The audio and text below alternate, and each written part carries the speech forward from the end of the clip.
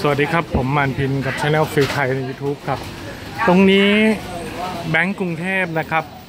แบงก์กรุงเทพเนี่ยฮะสาขาท่าน้ำสิริราชนะฮะแล้วก็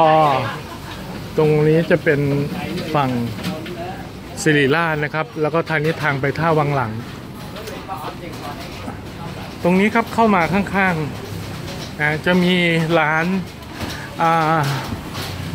โลตัสนะครับ เข้ามาตรงนี้นะครับ จะพามาร้านตี๋ใหญ่ชวนชิม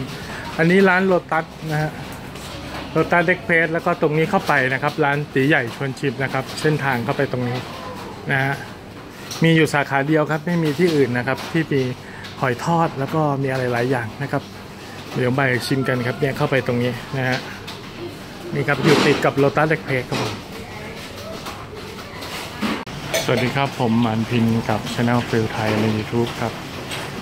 ก็ตรงนี้เป็นซอก ด้านนู้นตรงไปจะไปท่าเรือครับนี่ร้านตีใหญ่ชวนชิมนะครับหอยแมงผู้ทอด ร้านเก่าแก่มาก ๆ เลยครับร้านนี้ ผมเคยทานตั้งแต่สมัย โอ้ นานมาแล้วครับ มีพระจ่างขายด้วยครับสุกี้ตีใหญ่เขาบอกมีท่าน้ำเสราที่นี่ที่เดียวครับนะฮะตรงนี้เดินทะลุออกไปก็ ไปทางสิริราชแล้วก็ตรงไปก็ถนนที่ไปทางพานนกไก่ทอดครับ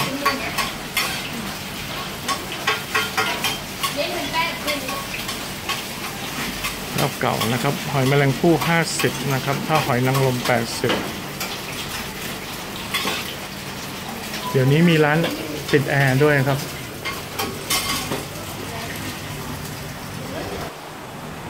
ก็ มีก๋วยเตี๋ยวคั่วไก่เซี่ยงไฮ้คั่วไก่ก็มีทาโร่คั่วไก่ด้วยนะก็มีกุ้งทอดกรอบปลาหมึกทอดกรอบกุ้งทอดกรอบร้อยหนึ่งปลาหมึกทอดกรอบแปดสิบสุกี้น้ำสุกี้แห้งหกสิบแปดสิบแล้วแต่นะครับเส้นหมี่กระเฉดทะเลแปดสิบร้อยหนึ่งหอยแมงภู่ทอดกรอบห้าสิบพิเศษเจ็ดสิบหอยนางรมทอดกรอบแปดสิบพิเศษร้อยออส่วนแปดสิบพิเศษร้อยครับ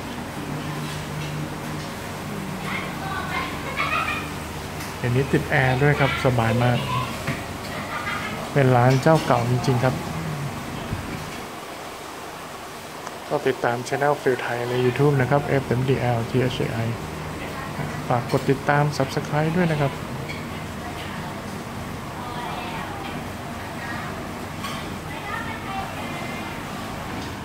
นี่ครับมาแล้ว แล้วก็มีซอสอยู่ในกระทะร้อนนะครับ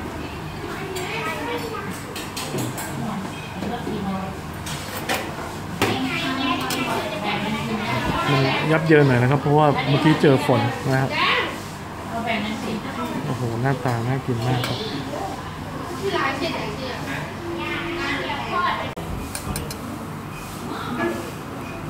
นนี้ก็มีถั่วงอกอยู่ข้างล่างครับ ก็จะเป็นแบบสไตล์บางกรอบนะครับ แต่ว่าจะมีโซนที่มีความนุ่มชุ่มฉ่ำไข่เนี่ยครับดูสังเกตลักษณะไข่ที่ปนเข้าไปกับแป้งนะครับอันนี้สั่ง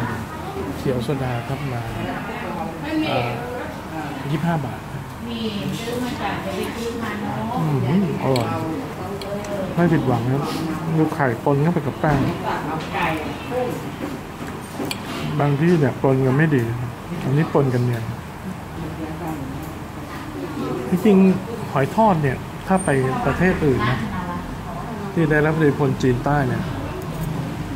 เขาจะเป็นหอยนางรมเรามีเมืองไทยที่พิเศษเป็นหอยนางรม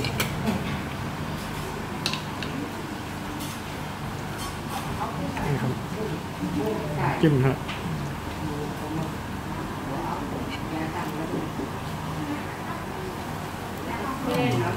อร่อยครับร่วงร่วงขออภัยน้ำจิ้มจะออกรสหวาน แต่ไม่หวานไปเลยจะมีอมเปรี้ยวตามมานะครับตอนแรกก็รู้สึกหวานแต่แล้วก็จะมีเปรี้ยวตามแก้เลี่ยนได้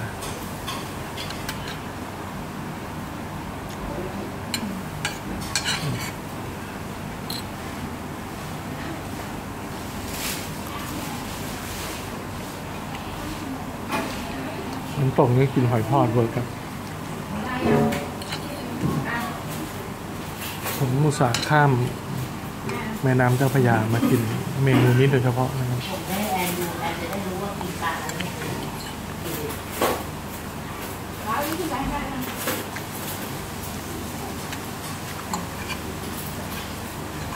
สุดยอด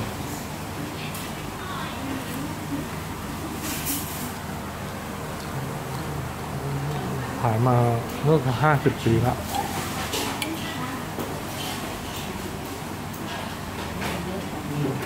ได้เรื่องมาก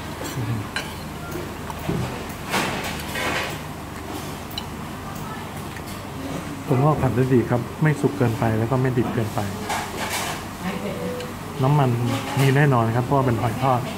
แต่ก็ไม่ได้เลี่ยนมาก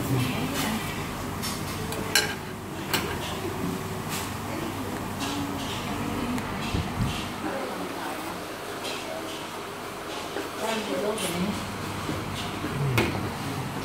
มี เคียวโซดาครับคอยแก้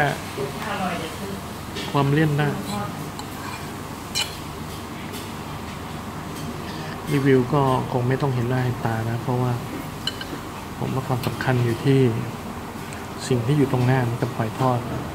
ไม่ใช่วิดีโอเซลฟี่สงสัยป้ายอันนี้เนี่ยจะพังแล้วครับ โดนฝนโดนน้ำขออภัยครับ เฮ้ย เติ้ลเดี๋ยวพรุ่งนี้ให้ป้าซื้อมาได้อร่อยมันก็กินได้หลายอย่างก็แบบนี้นะพรุ่งนี้อืมอืมก็เดี๋ยวผมจัดการก่อนเมื่อครับต่างปากพอกินอะไรบ้างแล้วพบกันใหม่ครับกับช anel ฟิลไทยใน YouTube ครับ เก็บเรื่องราวการเดินทางมาฝากกันครับสวัสดีครับหอยทอดตีใหญ่วังหลังนะครับตีใหญ่ชงเชงวังหลังนะครับ อยู่ในซอกเล็กๆนะครับแต่ว่าร้านดัง